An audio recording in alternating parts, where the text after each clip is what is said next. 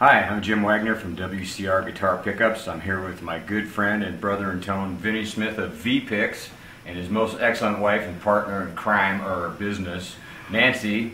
Uh, and they've both been very generous and gracious uh, to me, allowing me to stay in their new place here in beautiful Nashville for a few days. Vinny just got a new camera uh, to try out. I thought it'd be a good idea to have him film me doing an interesting lick I use a lot. And although a lot of other people use it, far more than not. It's a little tricky at first, but after enough repetition, uh, it'll become an automatic thing that you can do uh, without even thinking about it. Uh, I'm going to show it to you in the G position here. It's a fairly easy spot to learn it. We'll do a close-up of the lick itself, and then a close-up lick of uh, how I pick it. Uh, I usually use Vinny's uh, medium pointy pick. I've been using it for a long time now.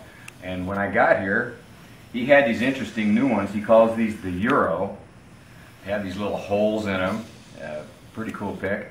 Uh, this is the Euro 2. Uh, but the one that I liked was the Euro 1 that's even smaller. It's almost like like with my fingernail that a lot of times I'm stuck having to use anyhow. So it really works really well. And uh, that's what we're going to use. I like this one a lot. He's going to have to send me home with a pocket full of these. Okay, this lick anyhow. Uh, it'll be in this position, and it basically just sounds like this. Pretty easy to do. So, here's how we do it. Just bend this first note.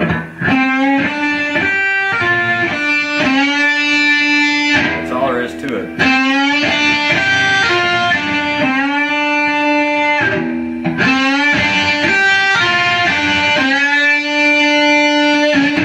On the picking part, it's kind of weird.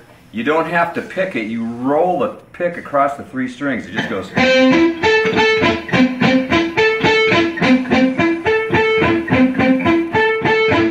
That's all it is. Uh, so you, you do that roll while you're doing the lick up here.